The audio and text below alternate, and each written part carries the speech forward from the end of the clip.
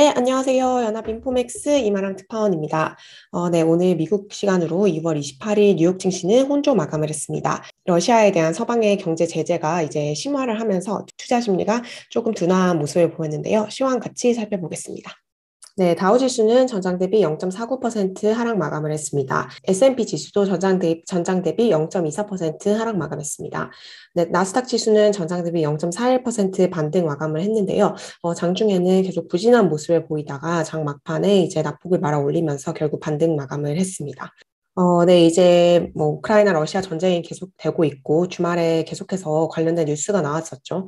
어, 이제 시장의 관심은 어, 러시아와 우크라이나 전쟁이 지속되는 것뿐만 아니라 서방이 러시아에 가하고 있는 제재로 이제 옮겨가 있습니다. 이제 주말 동안 나온 러시아에 대한 금융 규제 중에 어, 아주 강한 고강도의 제재가 많이 나왔습니다. 어, 우선 이제 G7 정상들이 일부 러시아 은행을 국제은행 간 통신협회 즉 스위프트 결제망에서 배제 제재하기로 했다고 밝혔습니다. 어, 또 러시아 중앙은행과 국부 펀드를 이제 전면 제재를 하면서 어, 러시아의 경제를 이제 제재를 하는 모습을 보였는데요. 여러 가지 규제가 동시다발적으로 나왔는데요. 미국 같은 경우는 러시아 중앙은행과 국부펀드에 대한 제재를 발표를 했습니다. 러시아는 외환 보유액을 다른 용도로 사용을 할 수 없게 되고 또 특히 러시아 화폐인 루블화를 떠받치기 위해서도 어, 러시아 중앙은행에 보유한 금액을 사용할 수 없게 됩니다. 또 이제 푸틴 대통령의 비자금 펀드로 알려져 있는 이제 러시아 국부펀드인 러시아 직접투자펀드 또한 어, 이제 제재 대상에 올랐고요. 결국 국제사회는 이제 글로벌 원자재 시장에 크게 영향을 미칠 수 있는 에너지 부분을 규제한다든지 또 실제로 이제 우크라이나에 파병을 하는 방법 말고 어 이제 경제 제재를 강화해서 러시아를 이제 고립시키려는 전략을 지금 현재로서는 취하고 있습니다. 이런 제재가 발표되고 나서 러시아 중앙은행은 이제 화폐 가치의 방어를 위해서 기준금리를 9.5에서 20%로 이제 대폭 인상을 해, 했는데요. 어, 그럼에도 불구하고 어제 아시아장에서 러시아 루블화의 가치가 이제 30% 폭락을 하는 이런 폭락 흐름을 보였습니다. 어, 이제 외신, 외신과 전문가들은 이 같은 경제 제재가 매우 효과적이라고 지금 얘기를 하고 있는데요. 네, 지금 현재 이제 러시아 에 있는 은행에서 대기하고 있는 사람들이라고 하는데요. 어, 이제 러시아 내부적으로도 이제 화폐가 무용지물이 될 가능성이 높아지고 또 이제 골드만삭스는 오늘 어떤 말을 했냐면 이런 생션 제재가 생길수록 러시아의 자산은 이제 투자할 그만한 가치가 많이 떨어질 것이라고 얘기를 했습니다. 결과적으로 이제 어떤 경제 제재에 따라서 러시아 경제 전반이 붕괴 거래를 하게 되고 또 이제 러시아 화폐가 크게 급락을 하게 되면 어, 결국 이제 러시아가 견딜 수 없을 것이라는 계산이 들어간 것으로 보이는데요.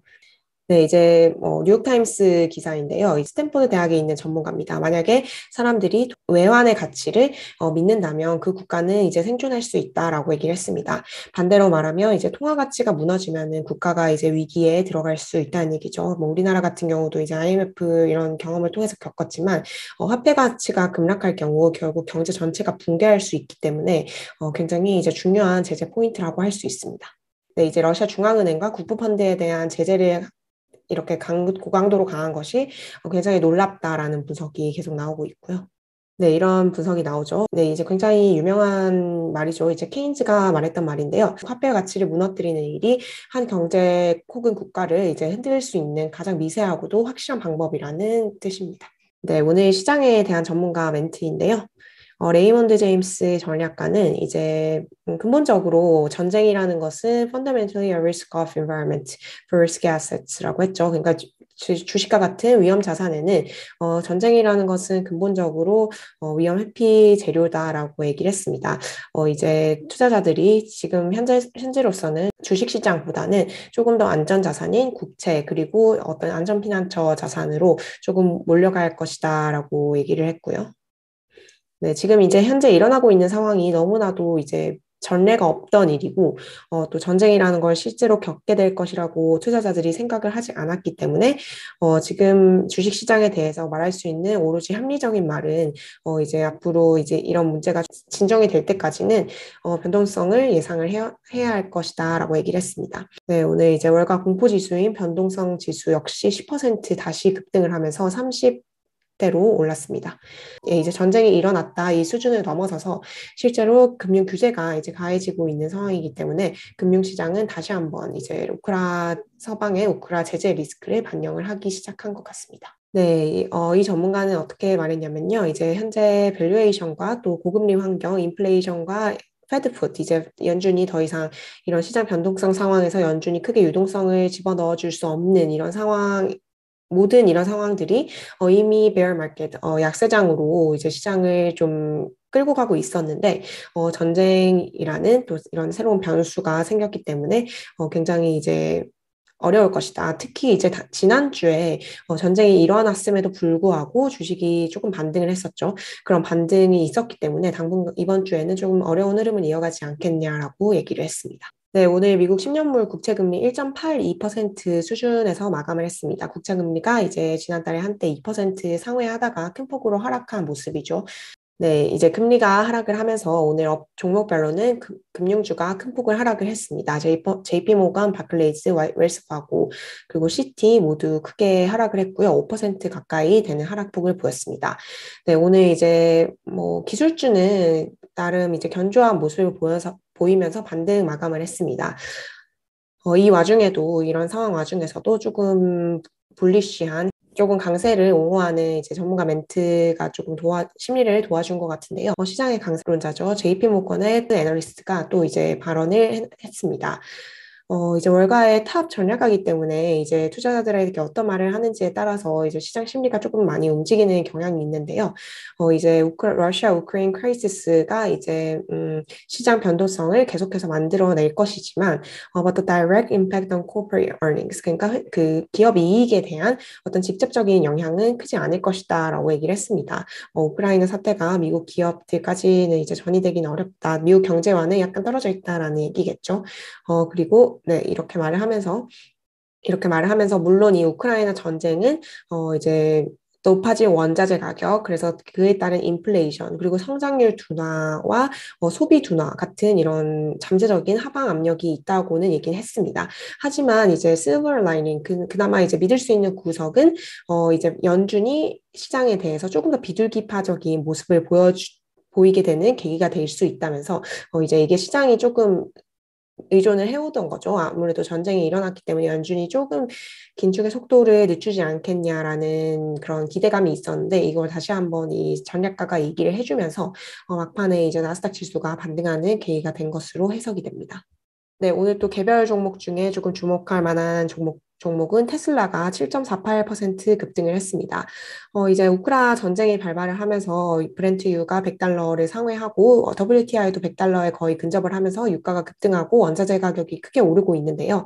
어, 이런 상황에서 유가 그러니까 기름을 필요로 하지 않는 전기차의 경우에는 조금 더 수혜를 입을 수 있지 않을까라는 그런 희망적인 언급들이 조금 나오고 있고요. 네, 이제 오늘 번스타인의 전략가가 이제 테슬라에 대해서 뭐 조금 주가가 기존의 목표 주가보다는 많이 오를 수 있다라는 얘기를 했습니다. 어, 기존에 이제 번스타인은 주가를 300달러로, 테슬라 주가를 300달러로 제시를 했습니다. 이미 굉장히 낮은 수준을 제시를 한, 거, 한 건데요. 어, 테슬라가 시장 수익률을 하회하고 또 300달러 정도로 이제 큰 폭으로 조정을 받을 것이라고 예상을 했다가 그걸 이제 450달러로 올리긴 했습니다. 150달러 가량 큰 폭으로 올리긴 했지만 여전히 이제 현재 테슬라의 가격 대비 거의 50% 이하 수준을 이제 본 것인데요. 현재 이제 테슬라, 테슬라가 워낙 많이 떨어졌기 때문에 valuation이 뭐 그렇게 최악은 아니다라고 얘기를 했지만 여전히 좋지 않지만 약간은 개선된 테슬라에 대한 투자 의견을 제시한 점이 오늘 테슬라 주가를 끌어올린 요인으로 이제 생각이 됩니다. 네, 또 주요 종목 중에서 이제 방, 록히드 마틴 등 방산주가 이제 강세를 보이고 있습니다. 어, 이제 전쟁이 일어나고 있기 때문에 독일 그리고 미국 독일 등을 비롯한 이런 국방비가 상승 증가를 할 수 있기 때문에 이제 주가가 오르는 현상으로 해석이 됩니다. 네, 오늘 이제 주요 월가 아이비들의 애널리스트 콜을 대략 요약을 해드리겠습니다. 어, JP 모건 같은 경우 오늘 계속 그 애플에 대한 비중 확대 의견을 유지를 했습니다. 애플이 지난해 4분기에 보여준 것과 비슷한 실적을 계속 유지를 해준다면 주가 더 상방 압력 있을 것이라고 기존의 긍정적인 투자 의견을 계속 유지했고요. 또 JP모건 같은 경우 미 소매 판매점이죠. 타겟에 대해서도 기존의 이제 비중 확대 의견을 유지를 했습니다. 음, 이외에 조금 특별한 종목으로는 어, 이제 웰스파고가 금융주 시티 매수 의견 계속 유지를 했고요. 네, 이제 고프로 유튜브 할 때 많이 쓰는 이제 카메라인데요. 제프리스가 고프로에 대해서 이제 처음으로 투자 의견을 매수로 제시를 하고 현재 주가 대비 40% 이상 더 급등할 수 있을 것이라고 언급을 했습니다. 네, 뱅크 오브 아메리카 스타벅스에 대한 매수 의견 그대로 유지를 했고요. 또 이제 에너지 관련 업종인 엑슨모빌과 쉐브론에 대해서도 계속 매수 의견을 제시를 했습니다. 유가가 가파르게 오르고 있기 때문이라고 이제 설명을 했는데요. 네, 이제 뭐 여러 번 말씀드렸지만, 어, 이제 S&P 500 지수 같은 경우는, 어, 크게 이제 조정을 받으면서 이제 기술적인 지지선을 하향 이탈하려고 하는 조짐을 보이고 있습니다. 또 기술적 전략가인데요. 어, 이제 헤드숄더 패턴에서 이제 주가가, 어, 이제 오른쪽 어깨를 하향 이탈하려는 조짐을 보이고 있다라고 얘기했고요. S&P 500 지수 종가 기준 4,225선을 주목을 하고 있다고 말했습니다. 네, 만약에 이 4225, 이 오른쪽 우측 어깨를 하향 돌파하는 이런 흐름이 나올 경우 굉장히 very negative view, 아주 이제 부정적인 어, 흐름으로 이어질 수 있다라고 이제 경고를 했고요.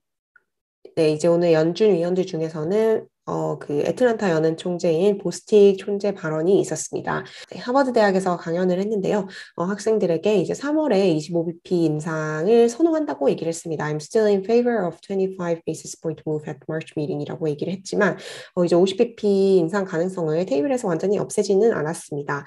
어, 만약에 이제 인플레이션 상승세가 지금과 같이 지속이 된다면 보다 공격적인 인상 가능성 인상도 하나의 옵션이라고 선택을 했고 3월 FOMC 이제 15일에 시작하죠. 3월 FOMC 전에 이제 들어오는 다양한 경제 지표가 있다면서 이것을 모두 고려할 것이라고 얘기를 했습니다. 원론적인 수준의 발언으로 해석이 되고요. 네, 오늘 나온 경제지표 두 가지가 있었는데요. 어, 미국 중서부 지방의 2월 제조업 활동을 나타내는 시카고 PMI는 큰 폭으로 하락을 했습니다. 이제 이 지수가 지난달에는 65.2를 기록하고 또 월가도 63 정도를 예상을 하고 있었는데요. 56.3으로 집계가 되면서 큰 폭 하락을 했습니다. 네, 미국 이날 또 발표된 미국의 1월 사, 상품 수지 적자 규모도 이제 역대 최대치를 기록을 했습니다. 네, 이렇게 2월의 마지막 영업일 뉴욕 증시는 혼조 흐름을 보이면서 마감을 했는데요. 어, 이제 전, 역사적으로 2월에 주가가 크게 반등한 적이 많이 없기는 하지만 이번 한 달은 우크라이나와 러시아 사태로 인해서 주가가 큰 폭으로 조정을 받았던 어, 한 달로 이제 생각을 할 수 있을 것 같습니다. 네, 워낙 이제 뭐 러시아 관련된 이슈가 산적하다 보니 이제 3일절 휴일에도 불구하고 이제 장을 계속 지켜보셨을 것 같은데요. 오늘 제가 준비한 소식은 여기까지입니다. 내일도 이제 뉴욕 증시 3월의 첫 거래일 정보와 함께 찾아오도록 하겠습니다. 들어주셔서 감사합니다.